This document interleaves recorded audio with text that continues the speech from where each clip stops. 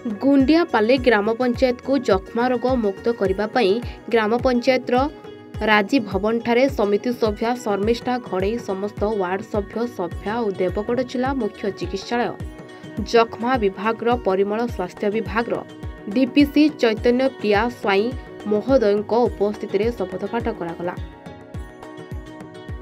ଯେପରି ଗୁଣ୍ଡିଆପାଲି ଗ୍ରାମ ପଞ୍ଚାୟତ ଯକ୍ଷ୍ମା ମୁକ୍ତ ହୋଇପାରିବ ସେ ନେଇ ଏକ ସଭାର ଆୟୋଜନ କରାଯାଇଥିଲା। ଦେବଗଡ଼ରୁ ରୂପେଶ ଗୁରୁଙ୍କ ସହିତ ସୁମନ୍ତ ନାୟକଙ୍କ ରିପୋର୍ଟ ଏ ଓଡ଼ିଶା